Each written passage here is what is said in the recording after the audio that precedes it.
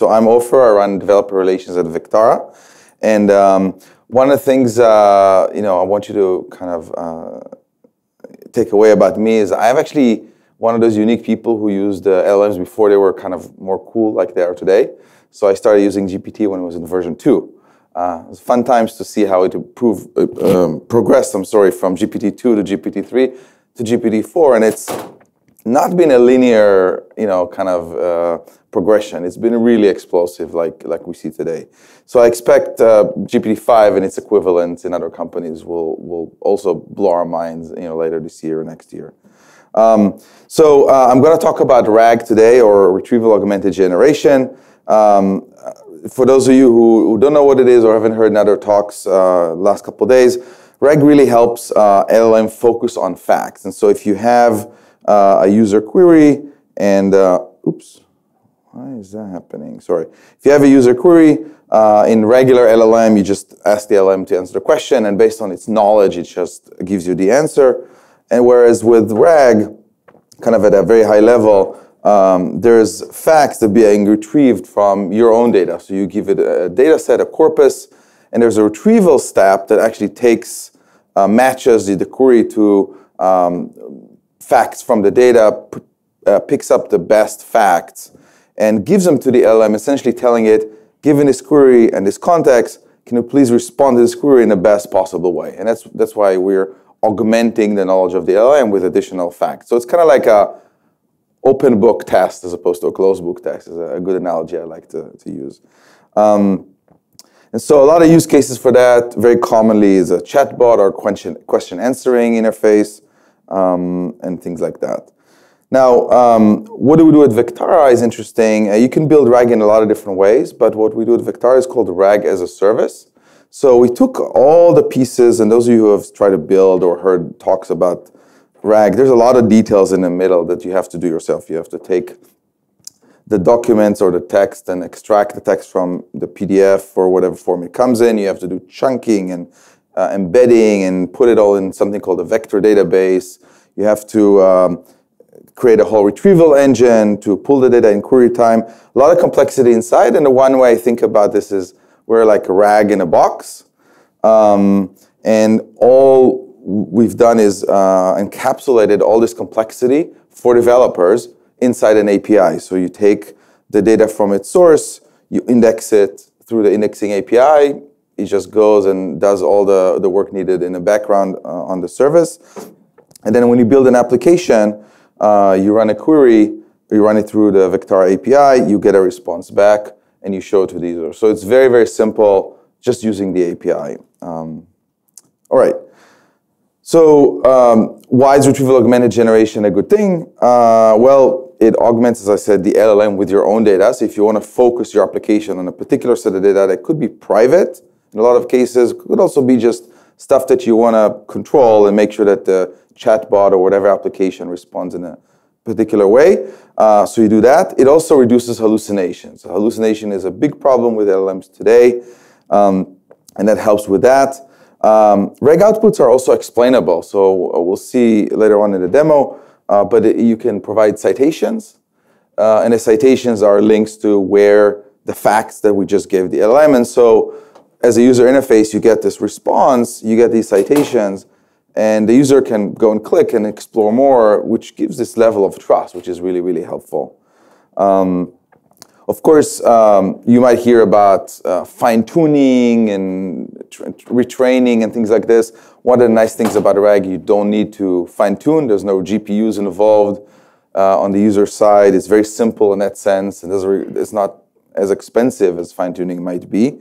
Um, and one of my favorite things is that you can actually do um, access control with RAG. So imagine that your documents have, you know, it's an enterprise setting, you have a lot of documents, and um, some of them are from the HR department, which not everybody might have access to see.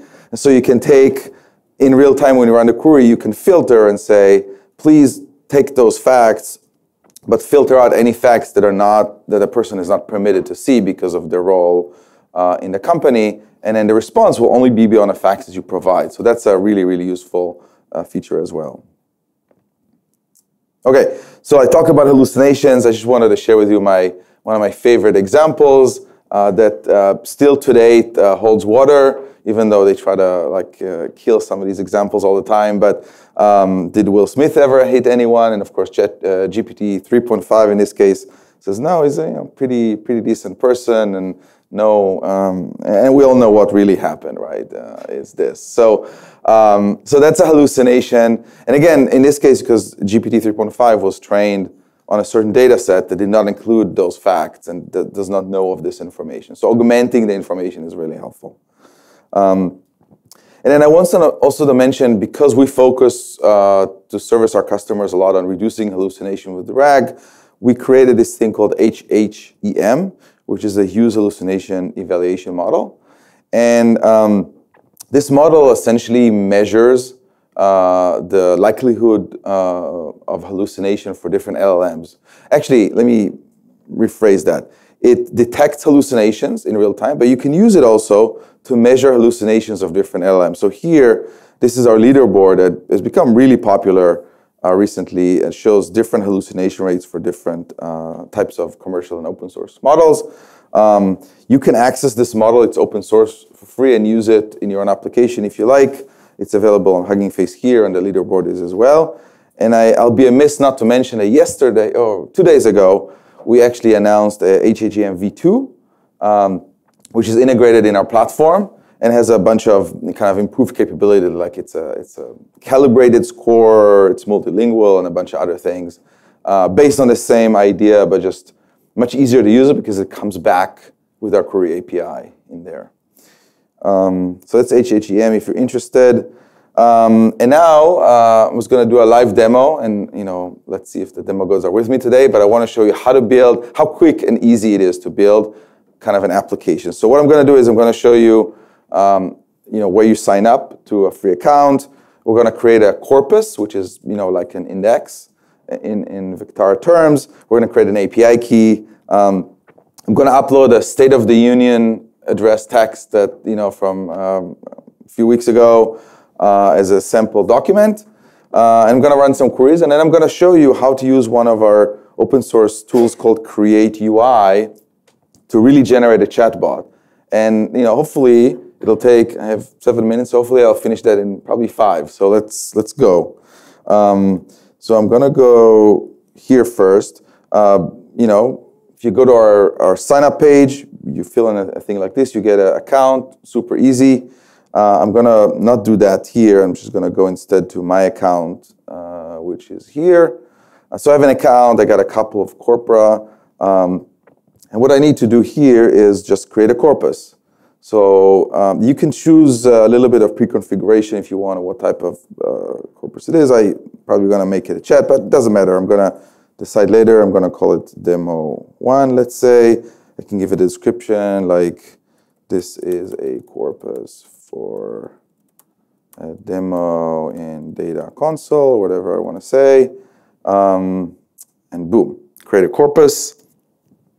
Now, um, and when you come here, uh, so this is our console. There's a lot of different things here which I'll, I'll address, but one of the nice things is we have built in a little bit of a data upload capability, which kind of makes it uh, for kind of initial experimentation pretty easy.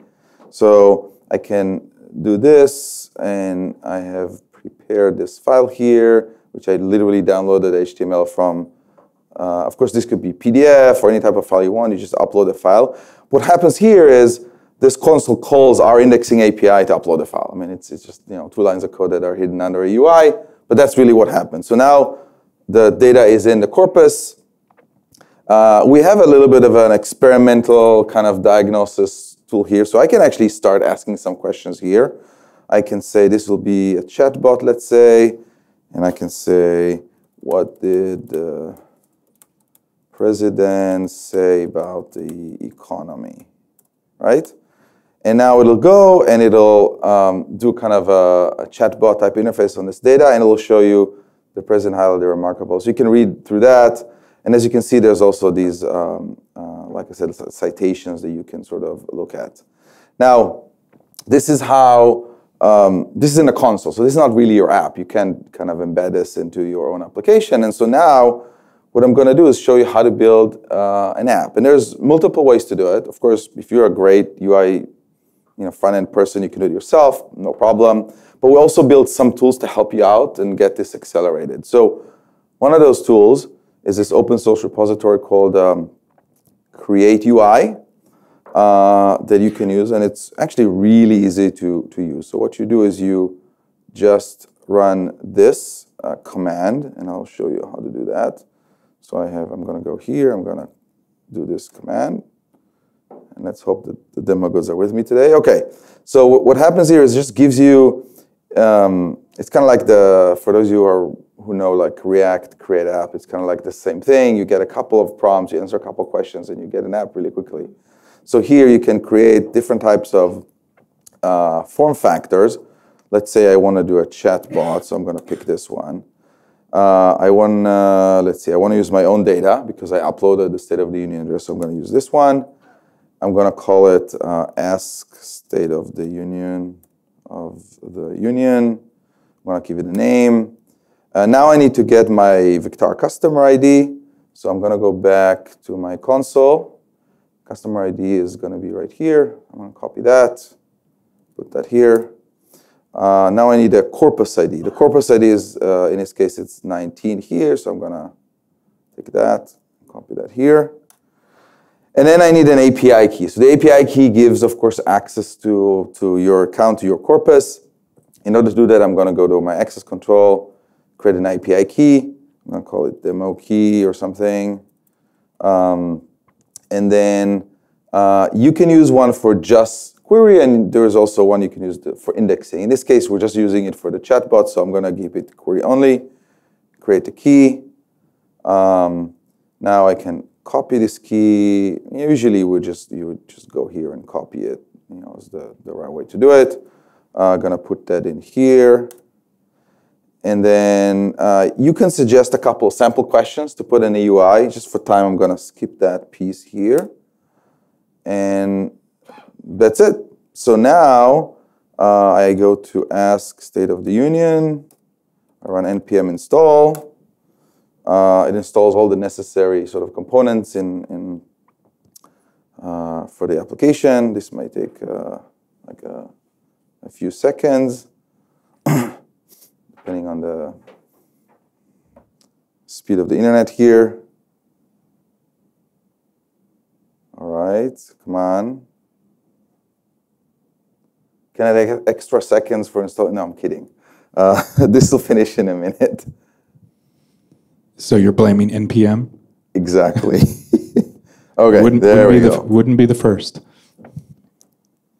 Okay, so now I do npm run start. And with some luck, this will actually work. Okay. So it created a, an application in localhost 4444 and then I can say, yeah, here it is. That's the app. So I can do what did the president say about Ukraine? I talked about that too, right? Now the economy, so a different question. So you get the same, and this is now your app. You can host it anywhere you want. You can do, you can change it. It's the code is there in the folder. You can just customize it. It just gives you like a, a basic framework and again gives you this, this facts. You can do a follow-up question. Uh, what should I ask it? Uh, are there any American soldiers there, right?